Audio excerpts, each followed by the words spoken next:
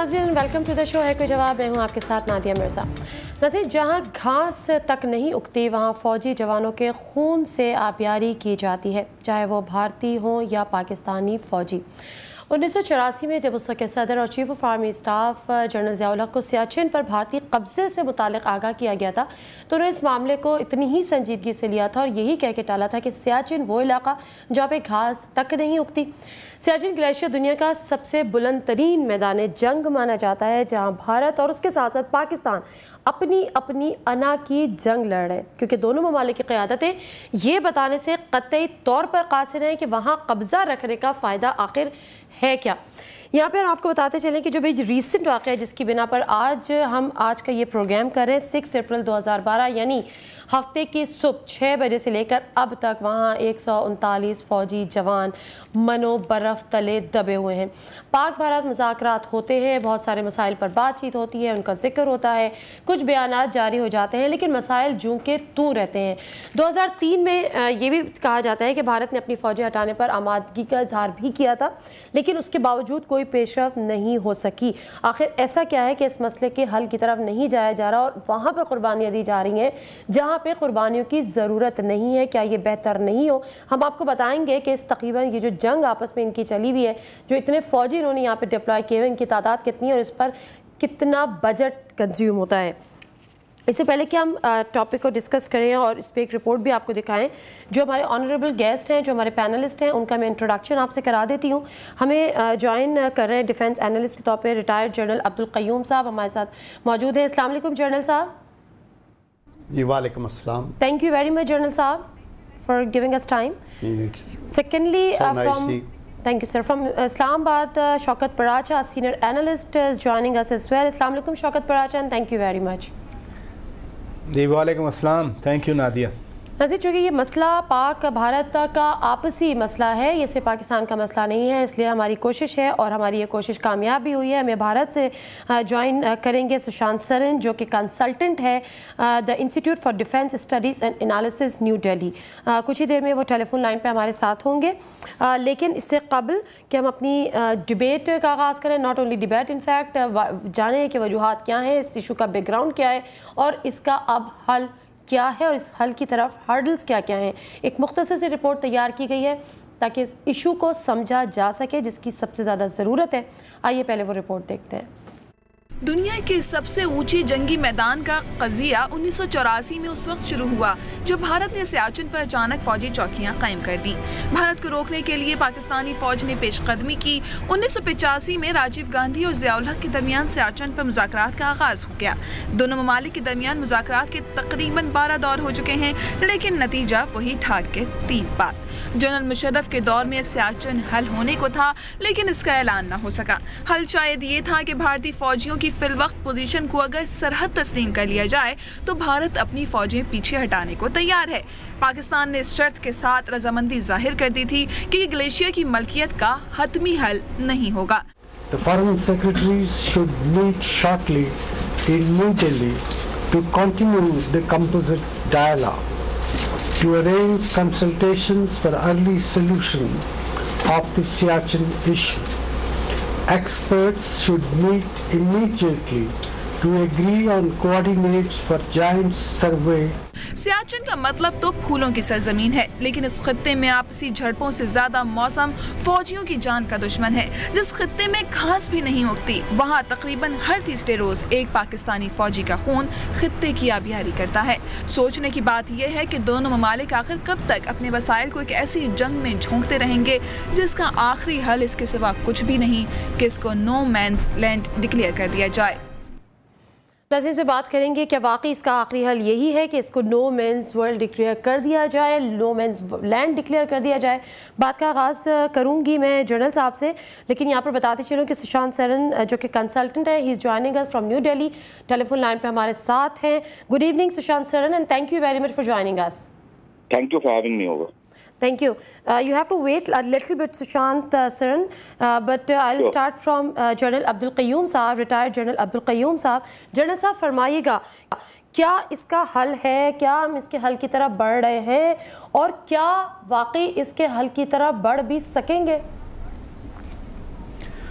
देखें अगर नीयत में खलूस हो और आप अपने मसाइल को हल करना चाहें तो देर इज़ नो क्वेश्चन कि ये ना हल हो सके। आप ये देखें कि दुनिया में बड़े बड़े गंभीर आयरलैंड का मसला था, जर्मनी वगैरह का था, और बहुत सी चीज़ें हैं, चाइना के, अमेरिका के साथ रिलेशनशिप की बात थी आइस ब्रेक होती रही है। सियाचन के इशू को एक्चुअली इन आइसोलेशन नहीं देखा जा सकता। इसका ताल्लुक ब्रॉडर इशू से है, जो कि कश्मीर का इशू है। और उससे रिलेटेड अफवाज इंडिया की भी और पाकिस्तान की भी डिप्लाइड हैं। और कश्मीर जो इंडिया के पास है, उसमें ट्रुप टू सोल्जर रेशो जो troop to civilian ratio is the highest in the world तो इसलिए, और फिर ये सियाचन का एरिया जैसे आपने बिल्कुल ठीक कहा कि घास भी नहीं उगता, ये दुनिया का इसको छत भी कहा जाता है और दुनिया की चौदह हाईएस्ट माउंटेन में से आठ इस एरिया में हैं। हमारे जो के टू भी इसी रीजन में है दो लिटल अवे तो इस ग्लेशियर के ऊपर ये जो फाइट है ये बेसूद है। लेकिन मकसद इसका फिर यही है कि एक दूसरे को नीचा दिखाने की बात है। अगर फंडामेंटल इशू जो कश्मीर वाला है उस पर कोई अंडरस्टैंडिंग हो जाए तो सियाचन तो एक छोटी बात है उससे फिर अफवाज पीछे चली जाएँगी और डी इंडक्शन अगर कश्मीर के जोन से हो जाएगी हम्म। तो पा, पा, हमारी कंट्रीज़ अपने डिफेंस पे एक्सपेंडिचर की बजाय आवाम की वेलफेयर पे पैसा लगाएँगे। ठीक है। जर्नल साहब आपकी बात को मैं यहाँ से कंटिन्यू करूँगी और मैं रिक्वेस्ट करूँगी सुशांत सरन साहब से कि वो इस पर कुछ कमेंट करें कि हर मसले का हल है अगर उसको संजीदगी से लिया जाए। And as far as the Siachen is concern तो डेफिनेटली अगर उसको भी संजीदगी से लिया जाएगा तो उसका भी हल है उसको आइसोलेट नहीं किया जा सकता। हर्डल्स कहाँ पर आती हैं सुशांत साहब? देखिए संजीदगी का मुजाहरा तो शायद दोनों तरफ़ से हुआ है। It's not for lack of seriousness that the issue has not been sorted out problem uh, uh, एक तो ये है कि एक बहुत बड़ी ट्रस्ट डेफिसिट है दोनों मुल्कों के बीच में uh, और uh, हिंदुस्तान uh, का ये शक है और ये uh, ये फीलिंग है कि अगर वो विड्रॉ करते हैं वहाँ से तो वही चोटियों को कल को अगर पाकिस्तान जाके ऑक्यूपाई कर लेगा तो उनको लेना फिर नामुमकिन हो जाएगा। अब इसमें कितनी सदाकत है या इसमें सिर्फ़ शक ही है ये एक अलग बहस है। लेकिन जो ट्रस्ट डेफिसिट का इशू है, वो एक बहुत सेंट्रल इशू है इस सारे प्रोसेस ठीक है सुशांत साहब एक सेकंड आई अग्री ठीक है आई अग्री कि trust deficit is still there लेकिन मुझे ये बताएँ कि 1984 से कबल तो दोनों तरह से खामोशी थी किसी ने क्लेम किया ही नहीं था उस कभी ग्लेशियर को और उस ग्लेशियर तक पहुँचने से भी कि जो टूरिस्ट भी आते थे वो पाकिस्तान आते थे वहाँ से वीज़ा लेते थे फिर उस ग्लेशियर तक उनकी रसाई होती थी एक्सेस होती थी। तो ये जो क्लेम करने का जो मकसद है जो आपने कहा कि दोनों क्लेम करते हैं दोनों संजीदगी से लेते हैं दोनों को ये खदशा है कि जी वो कब्जा कर लेगा, जी वो कब्जा कर लेगा। तो उसमें कब्जा करना ही क्यों है? वो किसके फ़ायदे में है या उस पर कब्जे से फ़ायदा क्या हो रहा है? देखिए आपने 84 का ज़िक्र किया। उस समय भी यही था कि it was suppose to be a no man land और ये माना जाता था कि इस एरिया में कोई मुदाखलत नहीं होगी और कोई घुसेगा नहीं। और प्रिसाइसली यही रीजन था कि जिस तरह की वहाँ पर हम जो हिंदुस्तान में इतलात थी वो ये थी कि जो माउंटेन एक्सपेडिशन जा रहे हैं वो पाकिस्तान के थ्रू जा रहे हैं क्योंकि वहाँ से एक्सेस इस एरिया हम्म। की इजियर थी। तो this might constitute in the future a certain claim over the area by Pakistan so this was the start point of what it happen number one number two the Indian information was also that there is some military activity also starting in that area and to preempt that the Indian forces moved in. In 1984 you are talking about. कदम था नहीं था वो एक अलग बहस है। ठीक है। लेकिन वही ट्रस्ट डेफिसिट का इशू इसमें भी दोबारा आ जाता है और इसी से करके ये जो कॉन्फ्लिक्ट था वो तब से शुरू हुआ था। ठीक है अब एक सेकंड रुकिएगा जरा हमारे सीनियर एनालिस्ट है शौकत पराचा उनको भी मैं शामिल गुफ्तु करूँगी। शौकत पराचा साहब दो सवाल आपसे जानूँगी। पहली बात ये कि ऐसी कोई अंडरस्टैंडिंग 1984 से कबल क्या पाकिस्तान और भारत में थी? क्योंकि डिस्प्यूटेड ग्लेशियर्स बहुत है लेकिन मैदान जंग ग्लेशियर सिर्फ़ यही है सियाचिन। क्या ऐसी कोई अंडरस्टैंडिंग थी नाइनटीन से पहले कि जी, ना पाक फौज, ना भारत की फौज वहाँ पर कोई घुसेगा नहीं। और उसके बाद पाक फौज की तरफ़ से पहले वहाँ पर दरअंदाजी की गई हो या वहाँ पर एक्सेस हुई हो पाक फौज की बात? बिल्कुल नादिया, पाकिस्तान और भारत के दरमियान एक तो इंटरनेशनल बाउंड्री है सियालकोट से थोड़ा नीचे तक। उसके बाद सियालकोट बाउंड्री से लेके लाइन ऑफ़ कंट्रोल तक, जिसे लाइन ऑफ़ एक्चुअल कंट्रोल कहा जाता है। फिर लाइन ऑफ़ कंट्रोल आती है। लाइन ऑफ़ कंट्रोल उस पॉइंट तक जाती है जहाँ से ग्लेशियर शुरू होते हैं सियाचिन शिमला एकॉर्ड में 1971 में दोनों मुल्कों ने ये एग्री किया था कि लाइन ऑफ़ कंट्रोल जो एंड पॉइंट है, वो तो डिमार्केटेड है। ऊपर लेकर चाइनीज़ बॉर्डर तक एग्रीमेंट ये था कि कोई भी पार्टी यानी पाकिस्तान और इंडिया यूनिलेटरली उसको डिमार्केट नहीं करेंगे ना ही उस पर कब्जा करेंगे। ये अंडरस्टैंडिंग थी। जब 1984 में इंडियन फोर्सेस वहाँ पहुँची तो उन्होंने 71 का वो एग्रीमेंट वायलेट किया जिसके तहत ये तय था कि दोनों मिलकर उसको डिमार्केट करेंगे। अगर डिमार्केट करने की कभी ज़रूरत पेश आई तो। यूनिलेटरली कोई एक्शन नहीं होगा। इंडियन फोर्सेज ने यूनिलैटरल एक्शन लिया। लेकिन शौकत पराचा सुशांत सरन साहब से जो मेरी बात हो रही है उन्होंने कहा था कि पाकिस्तान ने प्रियम किया। पाकिस्तान ने पहले अगर ये कोई मुआदा था या कोई एक अंडरस्टैंडिंग थी उसको वायलेट पाकिस्तान ने फिर पहले किया। नहीं अगर तो पाकिस्तान ने वायलेट किया होता तो फिर 1989 में राजीव गांधी अपनी फोर्सेस को विदड्रॉ करने पर रजामंद क्यों होते?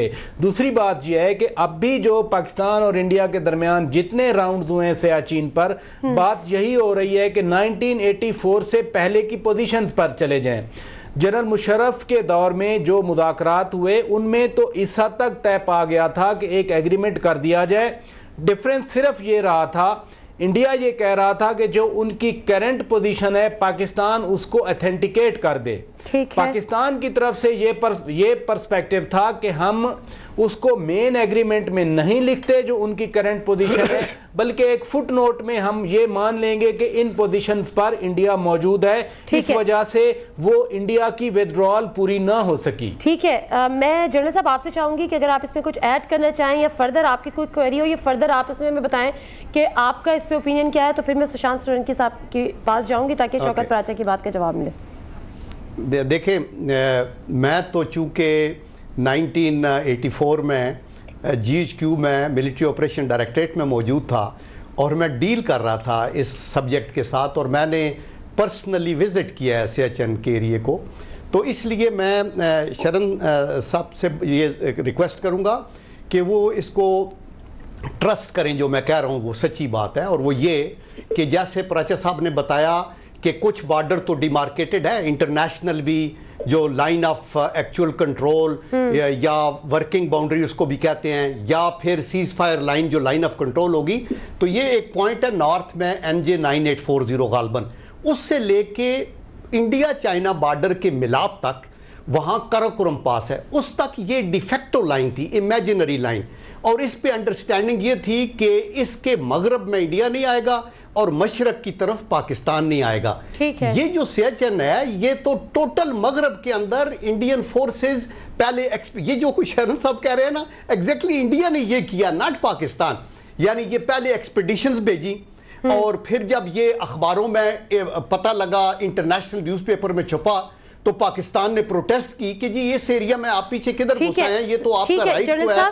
और ये हमारा इलाका है। ठीक है सुशांत सरन साहब ये है जो ओपिनियन है या जो स्टांस है जो हमारे लेफ्टिनेंट जनरल हैं अब्दुल कयूम साहब जो कि ये बता रहे हैं कि जब 1984 और 1985 की बात थी तो वो जीएचक्यू में थे और वो इस subject he was into in this subject plus जो शौकत पराचा हमारे सीनियर एनालिस्ट हैं सीनियर जर्नलिस्ट हैं उनका भी ओपिनियन आपके साथ शेयर हुआ।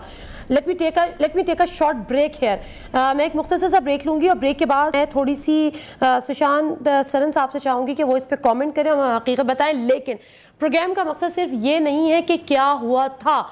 और ट्रस्ट डेफिसिट है, अब ट्रस्ट डेफिसिट नहीं है। ट्रस्ट डेफिसिट अपनी जगह है। प्रोग्राम हमें आगे लेके चलना है। We have to move forward show must go on अब हमें ये देखना है कि किस तरह से इन मसाइल को हल किया जा सकता है और किस तरह से इन कीमती जानों के इस तरीके से ज़िया को बचाया जा सकता है। जब मैं कीमती जान की बात कर रही हूँ तो वो पाकिस्तानी फ़ौजी की भी जान हो सकती है, पाकिस्तानी किसी आम शहरी की भी जान हो सकती है और वो भारतीय फ़ौजी की भी जान हो सकती है और वो किसी भारतीय आम शहरी की जान भी हो सकती है। मुख्तर सा ब्रेक। वापस आते हैं हमारे साथ रहिए।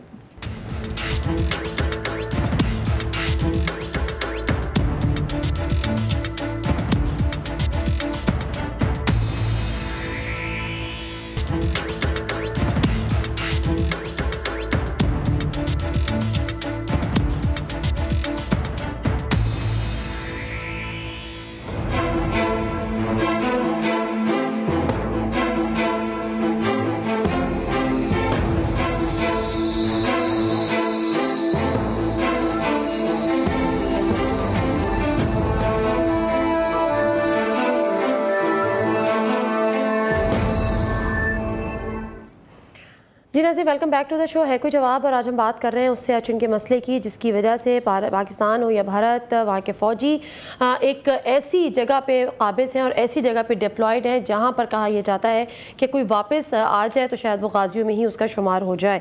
आ, मैं सुशांत सरन साहब आपकी तरह पहले आऊँगी। आप न्यू डेली से हमें ज्वाइन करें। आपने दोनों जो ओपिनियंस थे, वो हमने आपके साथ शेयर किए, जो हमारे लेफ्टिनेंट जनरल साहब रिटायर्ड जो कि कहते हैं कि उस वक्त वो सर्विंग सीट पर थे और उस वक्त उन्होंने ये तमाम एक्सपीरियंस किया प्लस हमारे सीनियर एनालिस्ट आप इस बात पर अभी हमसे कुछ कॉमेंट इस पर करेंगे कि पाकिस्तान ने प्रियम नहीं किया या पाकिस्तान ने ऐसा कोई इनिशिएटिव नहीं लिया।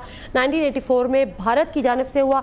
या आप ये समझते हैं कि इस पर कॉमेंट के बगैर हमें अब आगे बढ़ना चाहिए वी शुड मूव फॉरवर्ड नहीं, मैं with all due respect to the general साहब Uh, and with all due respect to uh, my fellow colleague uh, from the Pakistani media, Shaukat Paracha.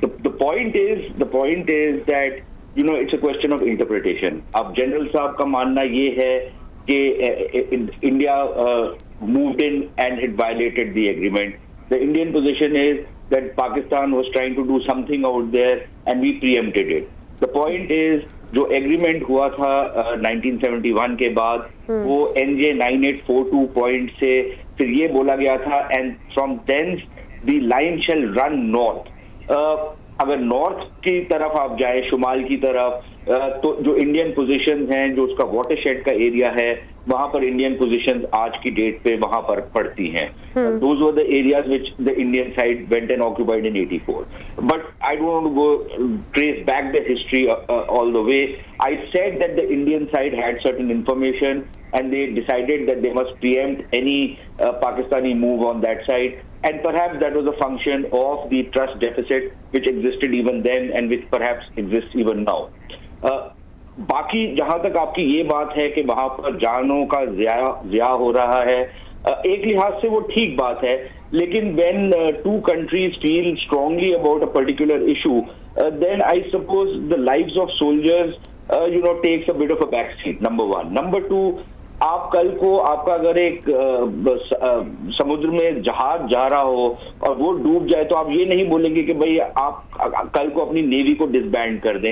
You will continue to monitor the cease and you will continue to do all that नहीं so लेकिन लेकिन लेकिन मुझे ये बताएँ मुझे बताएँ सुशांत साहब कि क्या ये बेहतर नहीं हो? क्योंकि ऐसा तो नहीं है ना कि फ्रॉम द डे फ़र्स्ट हमारे वहाँ पे मोर्चे थे फ्रॉम द डे फ़र्स्ट हमारे फौजी वहाँ पे डिप्लॉयड थे और from the day first first हम इस चीज़ की टग टग ऑफ़ वॉर में लगे हुए थे कि जी इंडिया इस पर काबिज ना हो जाए और पाकिस्तान इस पर काबिज ना हो जाए।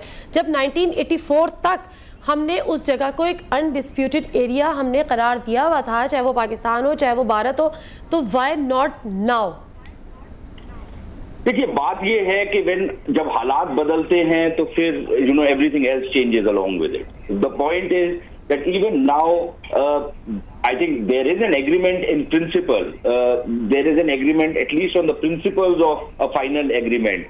Uh, I, I, should be very careful in telling you actually there's an understanding, not even an agreement. Mm-hmm. Basically, uh, go back to the positions pre 1984.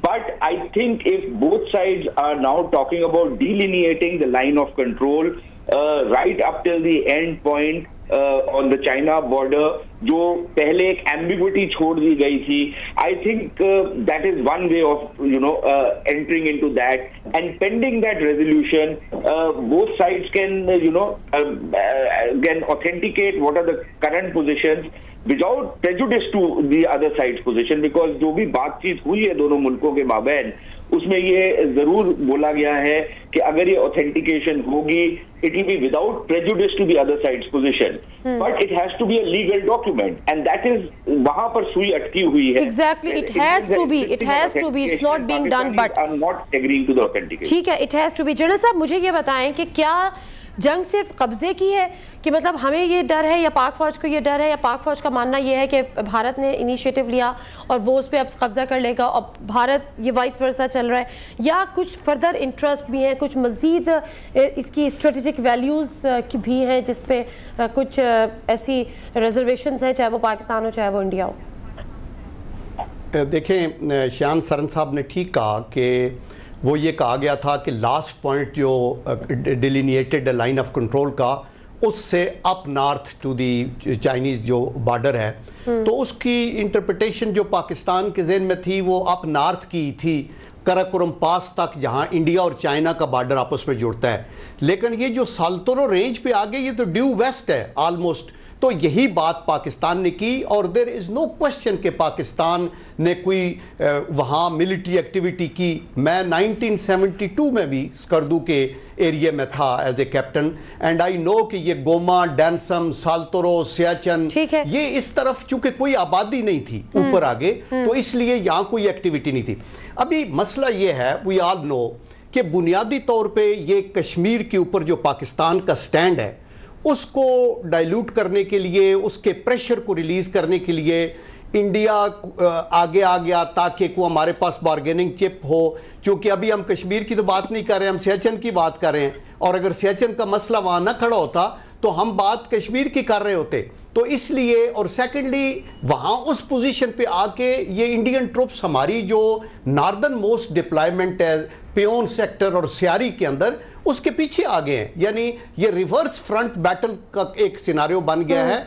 और जो कारगिल के खिलाफ हमारी फौज की डिप्लॉयमेंट थी उसको भी डाइल्यूट होना इनके ख्याल में है कि आपको ट्रुप्स को उधर लगाना पड़ेगा। अच्छा। ना इसको इंडिया का कोई फ़ायदा है फिजिकली ना वहाँ कोई मिनरल्स हैं ना वहाँ कोई कल्टीवेशन है ना वहाँ कोई आबादी है। माइनस फिफ्टी से माइनस सेवेंटी डिग्री सेंटीग्रेड अगर पाकिस्तान की कैजुअलिटी एक होती है तो इंडिया की दो होती हैं। ठीक है। इंडिया का अखराजात लॉजिस्टिकली भी ज़्यादा है बिकॉज़ नूबरा रिवर से इनको एक्सटीरियर लाइन पे ऑपरेट करना पड़ता है और पाकिस्तान का इंटीरियर लाइन से इनकी अफवाज वहाँ ज़्यादा है। इससे जो लेकिन, जो हमारी नेचुरल एनवायरमेंट है वो डिग्रेड हो रही हैं। अच्छा। सात हज़ार की फौज के साथ और धमाकों के साथ बारूद के साथ तो ये यूजलेस एक्टिविटी है। ठीक है। तो फंडामेंटली अगर हम कश्मीर पे अग्री होंगे तो ये सब कुछ ठीक हो जाए मतलब ये सिर्फ़ एक बार्गेनिंग पोजीशन शौकत पर अच्छा आप मुझे बताएगा क्योंकि जितनी मुलाकातें होती रही हैं हमारे वज़ीर वज्र अजम की या भारत के वज्र अजम की चाहे वो सेफमा के प्लेटफॉर्म पर होती रही हो या सार्क के प्लेटफॉर्म पर होती रही हो आपने काफ़ी उन लोगों के साथ विजिट्स भी किए हैं पाक भारत मुलाकातें भी आपने देखी हैं जो मामला तय होते हैं उनकी भी आप आप वहाँ पर मौजूद रहें। मुझे बताएगा कि जब कश्मीर पे बात की जाती है तो फिर डेफिनेटली साथ के साथ सियाचिन पे भी बात की जाती है। क्या मामला होते हैं इन मुजात में और किस हद तक हम संजीदगी से लेते हैं इन मसाइल को हल की तरफ़ इन मुजात के दौरान? देखिए ना, बाकायदा जो कंपोजिट डायलॉग है उसमें तो कश्मीर भी एक एजेंडा आइटम है टॉक्स का साथ साथ सियाचिन भी एक एजेंडा आइटम है टॉक्स का। डिफेंस सेक्रेटरी सियाचिन को डील करते हैं लेकिन अब ये जो टॉक्स हैं पाकिस्तान इंडिया के दरमियान ये कोई खुफिया एजेंडा नहीं है बल्कि मैं शयान सारम साहब को एक और भी गुजारिश करूँगा कि यही डॉक्टर मनमोहन सिंह थे 12 सितंबर को 2006 को गालिबन डेट ऊपर नीचे हो सकती है। वो खुद अमृतसर आया और उन्होंने कहा था कि एक प्रपोजल हम ये देते हैं कि हम इस माउंटेन को will convert this mountain as a mountain of peace उसका मतलब भी यही था कि वहाँ से फोर्सेस विदड्रॉ की जाए दोनों साइड हम्म। से। दोनों तरफ़ ये इन प्रिंसिपल है कि हम फोर्सेज विदड्रॉ करें। ये नहीं है कि सियाचिन पे हमने कब्जा हर सूरत में बरकरार रखना है। जो भी उसकी स्ट्रेटजिक वैल्यू हो अभी पाकिस्तान के फौजी आज ट्रैप हुए हुए हैं। 135 40 पाकिस्तानी शहरी हैं। ये पिछले महीने की बात है, इंडियन हेलीकॉप्टर एक गलती से लैंड कर गया, जो भी उसकी प्रॉब्लम थी, लेकिन पाकिस्तान ने एक जेस्टर ऑफ़ गुडविल दिखाया और वो हेलीकॉप्टर उसके जो पायलट थे या को पायलट थे, उन समेत पाकिस्तान ने वापस कर दिया था। Goodwill is there. लेकिन मैं जो बात कर रहा था, डॉक्टर मनमोहन सिंह की बात की, अमृतसर में उन्होंने कहा था कि हम इसको इसको अमन की पहाड़ी बनाएँगे। उससे दूसरे दिन भारतीय आर्मी चीफ की स्टेटमेंट आई आई थी जिन्होंने नेगेट किया था और अच्छा। हमने रेयर देखा कि एक डेमोक्रेसी में एस्टेब्लिश डेमोक्रेसी में प्राइम मिनिस्टर को आर्मी चीफ नेगेट कर रहा है सेंसिटिविटीज हैं वहाँ पर कि हम क्यों इससे विदड्रॉ करें। अगर पॉलिटिकल फोर्सेस या जो डिप्लोमेटिक लेवल पे बातचीत होती है, उसमें अगर विदड्रॉ करने की बात आती है तो दूसरी तरफ़ से वहाँ पर रुकावट भी आ जाती है। और यही वजह है कि 89 में पहले एग्री किया गया कि हम डीमिलिटराइज करते हैं। फिर जो अभी डायलॉग जो अभी चल रहा है, सियाचिन पे इस महीने या नेक्स्ट महीने, फिर मुजाकर होने हैं। यानी दोनों अंडरस्टैंडिंग के करीब हैं लेकिन स्टिल दोनों ममालिक बहुत लेकिन दूर हैं कि लेकिन शौकत पराचा आपने ठीक है बहुत डिटेल से मुझे बताया लेकिन मुझे साथ में ये भी बताएँ कि जब ये मुजाकरात होते हैं तो जनरल साहब जिस तरह से कहते हैं कि इसको बार्गेनिंग पोजीशन के तौर पे भी इंडिया ने रखा हुआ है कि जब कश्मीर पे बा, बात होगी और फिर जब डेफिनेटली इशूज़ के सोल्यूशन की तरफ़ जाते हैं तो फिर बार्गेनिंग एक पोजीशन आती है कि जी ठीक है हम इतना छोड़ते हैं तो आप इतना छोड़ें तो आप इतना छोड़ें तो हम इतना छोड़ें। क्या ऐसी इसमें भी कितनी रियलिटी है इस बात में? देखिए ना, तमाम इशूज़ हैं। अब आप सरकरी बहुत दूर है कश्मीर से। सरकरीक कराची से नीचे है। सियाचिन कश्मीर के साथ है। तमाम इश्यूज़ की सेटलमेंट हमने करनी है। कश्मीर अगर फ़र्ज़ किया उसकी सेटलमेंट होती है, उसकी कीमत पर सियाचिन तो हम नहीं दे सकते। पाकिस्तान ये नहीं कह सकता कि जितना आज सियाचिन भारत के कब्ज़े में है कि सारे का सारा सियाचिन भारत अपने पास रख ले। ऐसी बात होगी नहीं, क्योंकि फिर भी आपको बॉर्डर डिमार डिमार्केट करना है। ओवरऑल जो ट्रस्ट डेफिसिट की बात है, जब आपकी अंडरस्टैंडिंग होगी, एक दूसरे पर एतमाद किया जाएगा और इस एतमाद के बाद ही ये सारे इश्यूज़ सेटल होंगे। एक इश्यूज़ की कीमत पर दूसरा इशू सेटल नहीं हो सकता और एक इश्यूज़ की कीमत पर दूसरे इशू को छोड़ा नहीं जा ठीक है ज़रा मुझे सुशांत सरन साहब आप ये बताइएगा कि जो जिसका ज़िक्र किया है ट्वेल्थ सितंबर 2006 का शौकत पराचा ने और उन्होंने कहा है कि उसमें मनमोहन साहब जो कि still is prime minister of India उनके पास एक प्रपोजल था उन्होंने कहा कि जी हम अपनी जो हमारी फौज है उसको वापस बुला देते हैं और फिर इस तरह से उसको शौकत पराचा आपने क्या कहा कि उसको कौन सी लैंड उसको मैं मैं उस आपको mountain of peace mountain of peace उन्होंने कहा उसको डिक्लेयर कर दे। तो बताइएगा कुछ सुशांत नहीं देखिए ये इस तरह की इस तरह की बातचीत कई बारी हुई है बहुत सारे प्रपोजल्स आए हैं ये from non governmental sources also कि उसको एक पीस पार्क डिक्लेयर कर दिया जाए वगैरह वगैरह। नहीं लेकिन आर्मी इंटरवीन आर्मी इंटरवीन ऐसा ऐसा आर्मी इंटरवीन की जो ये बात कर रहे हैं शौकत पराचा के मैं आपको मैं वही वजाहत कर रहा हूँ। देखिए ऐसा होता है कि प्रधानमंत्री ने ये बोला था और यहाँ पर जो सिविलियन लेवल की हुकूमत है देखिए एक तो जब प्रोसेस होता है डिसीज़न टेकिंग का डिसीज़न मेकिंग का पॉलिसी मेकिंग का उसमें तमाम जो इदारे होते हैं उनका फीडबैक लिया जाता है। The prime minister and the government of India is very keen कि इसका कोई सोल्यूशन निकले। लेकिन जब फौज का उन्होंने फीडबैक लिया गया तो फौज का ये रिस्पॉन्सिबिलिटी बनती थी कि वो सिविलियन हुकूमत को आगाह करे कि भाई इसके ये ये ये ये चार पाँच जो इम्प्लीकेशन हैं वो उन्होंने उनको पूरा इन्फॉर्म किया।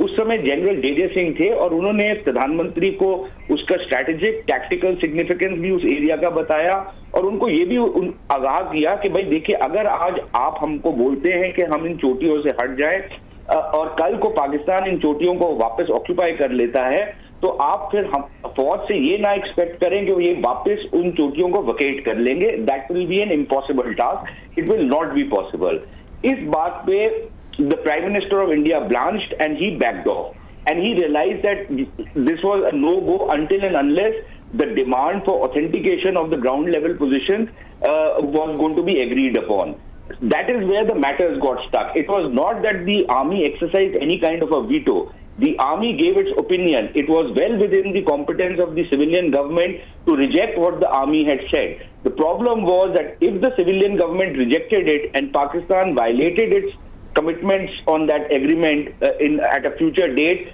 they would be held to pay politically for the civilian government, ठीक है। which is why they backed off. ठीक है जनरल साहब आप फरमाइएगा इस पे। आप क्या कहते हैं जिस वक्त आप जो ये बात हो रही है कि जी वो इसलिए प्रपोजल तो एक दिया गया लेकिन ये खदशा भी साथ के साथ था कि जी अगर हमने वहाँ से अपनी फौजी हटा ली तो पाकिस्तान दोबारा से उस जगह को ऑक्यूपाई कर लेगा। पाकिस्तान ने वो जगह क्या पहले ऑक्यूपाई की हुई थी 1947 से। 1984 पे जो हमारी स्टडी है उसके हिसाब से तो वो जगह ऑक्यूपाइड थी ही नहीं। फिर ये क्या मामला हैं? देखिए शान सरन साहब की बात जो है ना अजम्पशन से मबनी है जब आप एक बाईलैटरल पैक्ट करते हैं और आप ये कहते हैं कि प्री 84 सिचुएशन पे आप सारे चले जाएँ तो पूरी दुनिया की बिरादरी उसकी गवाह होती है ये ऐसे नहीं हो सकता कि कल उधर हो जाए और फिर ये, ये जिन चोटियों का ज़िक्र कर रहे हैं सोलतोरो रेंज पे मसलन हमारी एक पोस्ट है? सै- सैडल साडल सैडल जो पोस्ट है उसके ऊपर तकरीबन बीस हज़ार की फुट की बुलंदी के ऊपर हमारे ट्रुप्स बैठे हैं। तो ये तो मतलब है कि आप इनको थ्रू आउट आप इससे बचना चाहते हैं कि इतने एक्सट्रीम वेदर में इन पहाड़ियों के ऊपर ऐसे ना किया जाए। और ये एरिया तो well within Pakistani territory है। आप ऊपर अनडिमार्केटेड है, आप उसको बाद में डिमार्केट कर लें। जहाँ तक कारगिल की ये बात कर रहे हैं, कारगिल तो एक और डिफरेंट सिचुएशन है। आपकी लाइन ऑफ़ कंट्रोल जो डिमार्केटेड है उसकी परली तरफ़ और उरली तरफ़ दोनों तरफ़ जो एरियाज़ हैं टोटल कश्मीर डिस्प्यूटेड है। और हम्म। इस पूरे कश्मीर के खत्े का पार्ट है आज़ाद कश्मीर भी नार्दर्न एरिया भी ये सारा डिस्प्यूटेड एरिया है। सो मैं मैं कहता हूँ कि आर्गूमेंट और काउंटर आर्गूमेंट देने की बजाय हमें बुनियादी तौर पर इस पर एग्री करना है कि हमें कश्मीर के मसले के हल की तरफ़ जाना है। आप लाइन ऑफ़ कंट्रोल को आपने सेंटिफाई किया हुआ है, आपने उसको एग्री किया हुआ है, फिर आप वायलेट करते हैं because you bring in the Kashmir dispute तो फिर सियाचिन को फिर आप क्यों रेस कर रहे हैं? बट ठीक है then we also done something the point is that you know this is way the trust deficit comes in every square inch of the line of control is mapped on the maps of the two armies to say that you know we we did it because that place the position was not clear was being disingenuous. You know it as well as I know it. I think you were a serving general at that point of time. Uh, probably you were not in the loop because very few people were in the loop in Pakistan when Kargil happened. But we have had incidents like this, and those are the reasons why that trust deficit continues to persist. देखिए ये जो शान सरन साहब आपने I am sure नक्शा भी देखा होगा मैंने फिजिकली ये एरिया देखा हुआ है, जिसकी हम बात कर रहे हैं सेचन के एरिया की।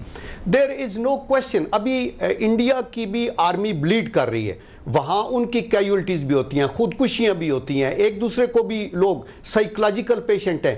पाकिस्तान भी सफ़र कर रहा है तो उस एरिए से जो प्री 84 पोजीशन है उससे मेरे ख्याल में दोनों साइड्स को और ये इन अच्छा। प्रिंसिपल एग्री भी हुए फिर अगर देखें पॉलिटिकल लीडरशिप कम कर जाती है मिलिट्री के आगे कि नहीं वो दोबारा आके ऐसे ना कर जाए तो आई एम श्योर कि जो स्टेट्स पर्सन है हम्म। उनको तो रिस्क लेनी है उनको एक दूर रस फैसले करने हैं तो हमें इस पे फैसला करना है और हमें ब्रॉडर इश्यूज़ को टोटल इन टोटलिटी कश्मीर को देख के ये देखना है कि दुनिया की आबादी का 25 परसेंट जो है वो सब कॉन्टिनेंट में रहता है और तकरीबन इंडिया के लोग भी 50 से 60 करोड़ गुरबत की खत से नीचे हैं। पाकिस्तान को उससे भी बुरा हाल है। अगर हमने अपने लोगों की गुरबत और अफलास को फाइट करना है तो फिर ये हमें एक बैठ के एक दूसरे को ये मतलब हमें हमारे जो रिसोर्सेज हमारे जो रिसोर्सेज वहाँ पे यूटिलाइज हो रहे हैं हमारे से मुराद चाहे वो पाकिस्तान के रिसोर्सेज यूटिलाइज हो रहे हैं या भारत के रिसोर्सेज यूटिलाइज हो रहे हैं। सुशांत साहब मुझे ये बताएँ जिस तरह से प्रोग्राम के शुरू में आपने कहा कि जो अभी पाक आर्मी के साथ जो इंसिडेंट हुआ है कितने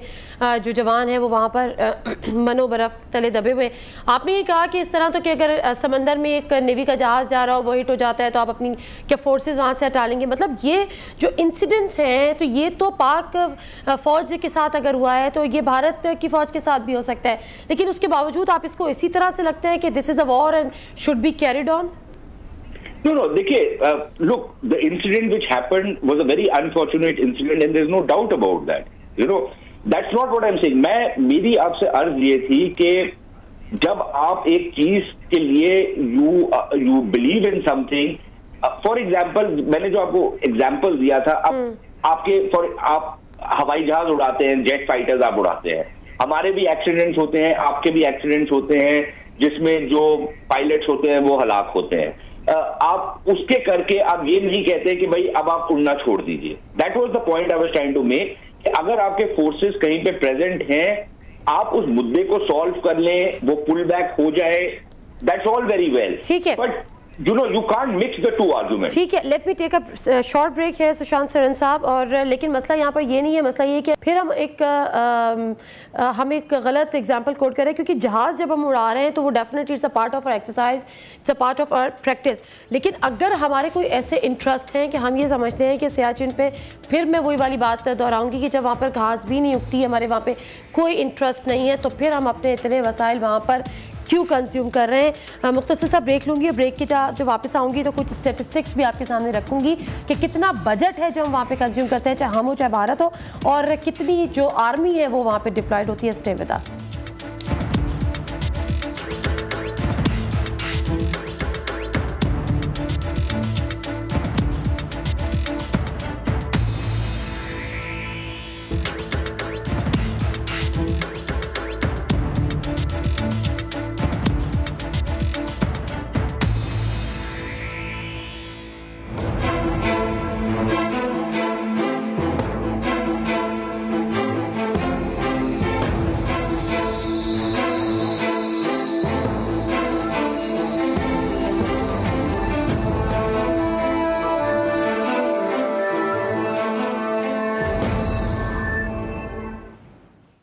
जी नजी welcome back to the show है कोई जवाब और हम बात कर रहे हैं आज सियाचिन के उस इशू की जो कि स्टिल अनसॉल्व है और need to be solved as soon as possible क्योंकि जिस जिस, जो हमारी एक डिबेट है जो मैं इस वक्त बात करना चाह रही थी, जो भारत में सीनियर कंसल्टेंट हैं, सुशांत सरन साहब, उन्होंने में ज्वाइन किया हुआ है institute for defence studies analysis के इनसे मैं ज़रा कुछ मजीद बात ये करूँगी, क्योंकि सुशांत सरन साहब माजरत के साथ विद ऑल ड्यू अपॉलोजी कि हमें जो एक मैं ना मानू वाली जो पिक्चर हमें, या नज़र आती है हमेशा भारत की जानब से, जब तमाम जो फोर्सेस हैं इंक्लूडिंग इंडियन इंक्लूडिंग पाकिस्तानीज, वो इस पर अग्री हैं कि हम प्री 1984 पोजीशन पर आ जाएँ और ये प्रपोजल्स इंडिया की जानब से आते भी हैं। फिर as far as a good justice are concern अभी शौकत पराचा साहब ने आपको एग्ज़ाम्पल दी कि 2006 के बाद जब मनमोहन का प्रपोजल सामने आया, आपकी फ़ौज ने इंटरवीन किया और उस फौज ने, उस मुल्क में इंटरवीन किया जहाँ पे एक मेच्योर डेमोक्रेसी है।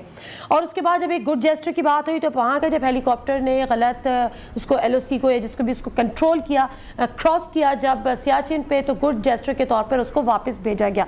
जब पाकिस्तान की जानब से ये गुड जेस्टर सामने आते हैं तो फिर हम इंडिया से ये एक्सपेक्ट क्यों नहीं कर सकते? या अगर हम एक्सपेक्ट करें भी तो वहाँ से हमें रिज़ल्ट क्यों नहीं मिलता?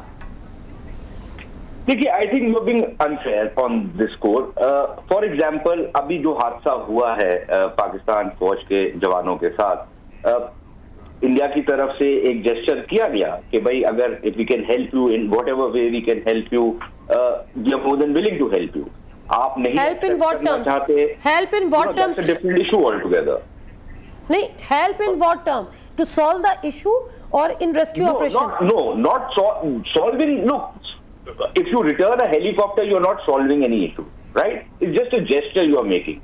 Uh, आपकी तरफ़ से भी कई बार ये होता है कि जब आपके क्लोज टू दी एलओसी अगर कई बार स्ट्रे कर जाते हैं, क्योंकि वहाँ पर एक ये वाइट ब्लाइंडनेस का एक इम्पैक्ट होता है, उस एरिया में आपके जो चॉपर्स हैं, वो भी कई बार वो कर जाते हैं।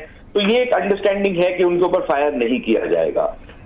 तो इस तरह की अंडरस्टैंडिंग है along the line of control along the entire area the point is not that the point is एक तो जेस्टर्स की बात है एक दूसरे की तरफ़ आप एक जेस्टर्स करते हैं और वो बहुत मुनासिब कदम है there have been instances where Indian soldiers have fallen in rivers and you know, uh, uh, their bodies have been recovered in Pakistan, and with all due honors, the Pakistani army has returned those bodies.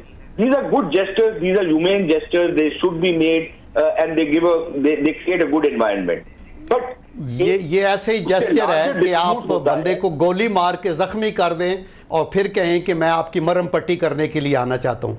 ये created ही India की situation है और ये जो अंदर इतनी बड़ी फौज है और एक्सप्लोसिव्स और केमिकल यूज़ हो रहे हैं उससे ग्लेशियर्स की मूवमेंट भी हो रही है स्लाइड्स भी इसीलिए आ रही है। तो ये तो ये कुछ जैसे because on the environmental issue because I studied this issue very closely there is absolutely no scientific evidence, none whatsoever, uh, to suggest that there is any major environmental degradation which is taking place.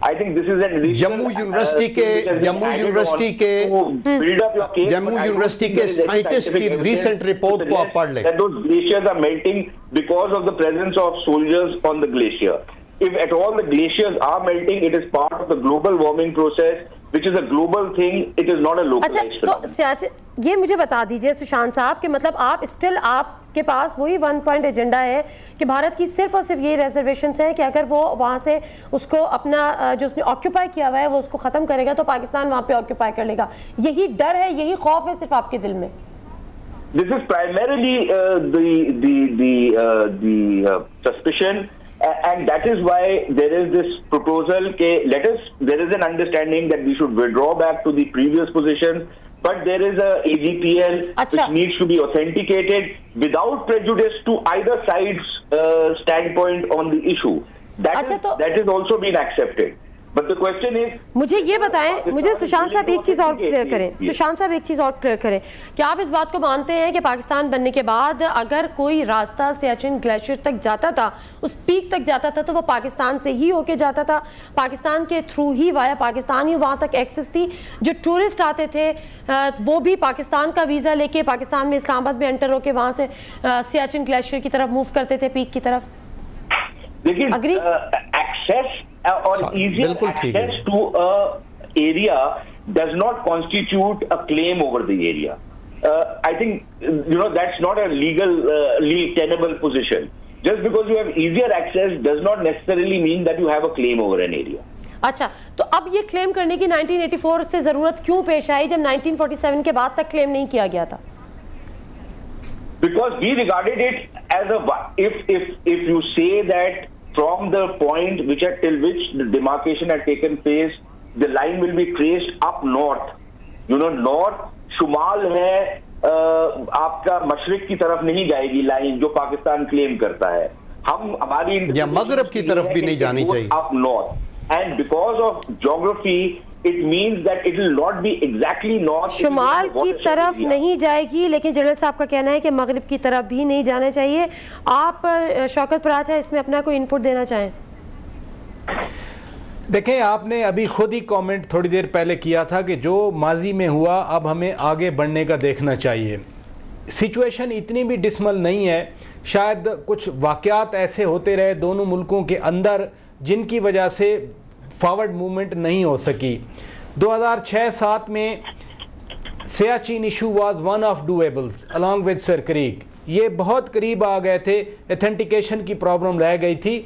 जो बात आपके guest कर रहे हैं दिल्ली से, बात सही है कि ट्रस्ट नहीं है कि अगर विदड्रॉ किया जाए दोनों साइड से तो फिर दूसरी साइड ऑक्यूपाई ना कर जाए। क्या इस ट्रस्ट को ओवरकम नहीं, मिस ट्रस्ट को ओवरकम नहीं किया जा सकता? उसमें इंटरनेशनल गारंटीज होती हैं उसमें आपके दोस्त ममालिक हैं बहुत सारे मुल्क ऐसे हैं दुनिया में जो दोनों के दोस्त हैं।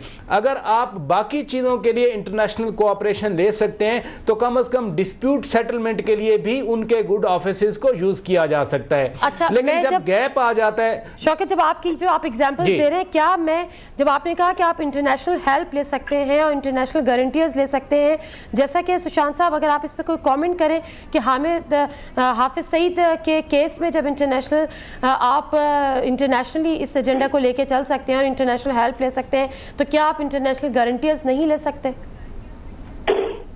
आप मुझसे पूछ रही हैं? जी बिल्कुल आपसे पूछ रही हूँ। Can you can you repeat your question please मैं ये पूछ रही हूँ कि इंटरनेशनल गारंटीज की बात हो रही है फ्रॉम शौकत पराचा कि जब इतने बड़े बड़े डिस्प्यूट होते हैं और आपने कहा कि there is a trust deficit तो इस ट्रस्ट डेफिसिट को ख़त्म करने का भी अब हमें सोचना है हमें आगे बढ़ना है। मिस ट्रस्ट को किस तरह से ख़त्म किया जा सकता है? इंटरनेशनल गारंटीज की बात हो रही है इंटरनेशनल हेल्प की बात हो रही है। मैं यहाँ पे एग्ज़ाम्पल रख रही हूँ कि इंटरनेशनल हेल्प के तौर पर अमेरिका को मूव फॉरवर्ड कराया गया in case of Hafiz Saeed तो क्या हम सियाचिन के इशू पर आपको कोई गारंटी नहीं इंटरनेशनल गारंटी आपके लिए एक्सेप्टेबल नहीं होगी? देखिए हाफिज सईद का केस और सियाचिन का केस आई थिंक दो मुख्तलिफ़ केसेस बहुत मुख्तलिफ़ हैं लेकिन मैं तो सिर्फ़ एक इंटरनेशनल गारंटियर के तौर पर या इंटरनेशनल इंटरवीन के तौर पर बात कर रही हूँ। नहीं मैं आप मेरी अर्ज़ सुनिए। देखिए एक सोवरेन डिस्प्यूट है और एक उसकी इस, उसकी जो नोयत है दूसरे इशू की हाफिज सईद की वो एक इंटरनेशनल टेररिज्म का इशू है। जहाँ तक सोवरेन डिस्प्यूट है हमारा ये मानना है कि किसी भी थर्ड पार्टी को आप जब मुदाखलत के लिए बुलाते हैं या एज ए गारंटर स्टैंड करवाते हैं तो वो जो पुरानी स्टोरी है कि एक बिल्ली है और दो बंदर आपस में लड़ रहे हैं और बिल्ली जो है वो रोटी खाती है, ये हमारी एक बहुत बड़ी प्रॉब्लम है। Which is why we we are of the view मतलब आपको पाकिस्तान के साथ साथ किसी इंटरनेशनल गारंटर पर भी एतबार नहीं। है वो अपना उल्लू सीधा करेगा और आपकी जो सोल्यूशन है या आपकी जो रेजोल्यूशन है उसमें उसकी कोई ज़्यादा मदद नहीं होगी। यानी मैं तो सुशांत साहब आपकी इस बात से मुझे तो लग रहा है कि अगर आप पाकिस्तान पे ट्रस्ट नहीं करते तो आप तो इंटरनेशनली पे किसी पर भी ट्रस्ट नहीं करते। अगर आप पाकिस्तान को भारत को वो दो बंदर कह रहे हैं जिसको रोटी का फैसला कराना है और वो बिल्ली के हाथ में भी देना नहीं चाहता तो फिर क्या फिर क्या करें इसका?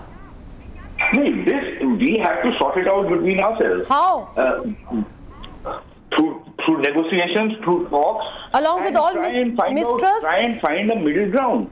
And we are very close to a middle ground. It's a question of we have we have transcended a lot of barriers in, in trying to narrow down differences on the issue of Siachen. There are छोटे छोटे दो तीन नुक्ते बचे हैं अगर उस पर बात हो जाती है और समझौता हो जाता है the the process of uh, demilitarization of the glacier can start. अच्छा एक सेकंड जनरल साहब does does Pakistan trust America today? Does Pakistan, does Pakistan trust America today, general साहब? जी देखें ये जो मिसट्रस्ट की बात है ये वैलिड बात है चूँकि इसमें जब तारीख को आप देखते हैं जनरल साहब तो माजरत के साथ माजरत के साथ मैं इंटरवीन करूँगी मिसट्रस्ट की बात अपनी जगह है मगर वो जो एग्जांपल दी है कि जी एक रोटी है दो बंदर हैं बिल्ली के हाथ में भी नहीं, नहीं देनी तो वो इंटरनेशनल गारंटियर भी नहीं चाहिए क्योंकि बिल्ली भी रोटी खाती है फिर क्या किया जाए? मैं मैं ये मैं सन साहब को ये बताना चाहता हूँ with all respect for his opinion मैं ये कहता हूँ कि देखें एक तो आपने बड़ी इंपॉर्टेंट बात की थी और वो ये कि 84 से पहले ये जो एक्सपीडिशन जा रही थी इंटरनेशनल ये सेचन के एरिए में west of this de facto line from N J nine eight four two to Karakoram pass ये पाकिस्तान के थ्रू ही जा रही थी क्योंकि ये पाकिस्तान का ही एरिया समझा जा रहा था और ईस्ट अच्छा, में इंडिया के कंट्रोल में अच्छा, समझा रहा था। पहली बात ये। अच्छा, दूसरा ये है। कि ये जो मिसट्रस्ट की बात हो रही है ना मुझे मुकम्मल करने मैं ये कह रहा हूँ कि देखिए माजी में मिसट्रस्ट तो था उन्होंने कारगिल की बात की। कारगिल का एक डिस्प्यूटेड एरिया है, यहाँ ये स्क्रमिश होती रहीं। हम बात करते हैं 1971 में ईस्ट पाकिस्तान के ऊपर। बैन अवी सरहद को क्रॉस करके अंदर जाके तो शब खून मारा गया। अभी अगर आपने मसाइल को हल करना है तो आपको अपने माइंड सेट को चेंज करना होगा। और लगता यह है कि इंडियन क्यादत को अभी थोड़ी सोच आ रही है कि अगर बैन अवी सतह पे उन्होंने उभरना है तो पड़ोसियों से मसाइल को हल करना होगा। Okay I am running out time Shaukat मुझे सिर्फ़ वन लाइनर दीजिएगा कि पाकिस्तान इस मामले में इंटरनेशनल गारंटियर को एक्सेप्ट करता है? यस और नो देखें देखें, बात जो मैं इंटरनेशनल गारंटियर की कर रहा हूँ मिस ट्रस्ट की बात आ रही है। अगर आप पाकिस्तान पे ट्रस्ट नहीं करेंगे तो फिर हम आपको किस किस तरह से ट्रस्ट दिलवाएँ कि पाकिस्तान इन चोटियों पे कब्जा नहीं करेगा जाकर। बात ठीक है पाकिस्तानी चोटियों पे कब्जा नहीं करेगा। मैं मेरे पास टाइम की बहुत ज़्यादा ऐसा कमी है मुझे बाबा क्लोजिंग के लिए कहा जा रहा है। सुशांत सरन साहब बहुत शुक्रिया हमें ज्वाइन करने का। इस उम्मीद के साथ कि अगली दफ़ा एक दफ़ा फिर हम बात करेंगे और उससे बात करेंगे जब ये तमाम जो सॉल्वेबल इशू हैं वो सॉल्व हो जाए अल्लाह करे ऐसा हो। जनरल क्यूम साहब आपका भी बहुत बहुत शुक्रिया। शौकत पराचा साहब साहब आपका भी बहुत बहुत शुक्रिया। हमें प्रोग्राम में करने का नाजीन फ़िलहाल दीजिए प्रोग्राम है कोई जवाब से नादे मिर्ज़ा को इजाज़त अल्लाह हाफ़